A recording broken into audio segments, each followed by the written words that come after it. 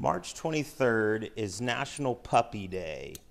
So I've went to the Lewis Winter collection and was looking through all of the cuts and I found two cuts of a dog that are actually the same thing. These are electrotypes, which are copies of woodcuts. And this is how Lewis Winter would have been able to make multiple copies of the same thing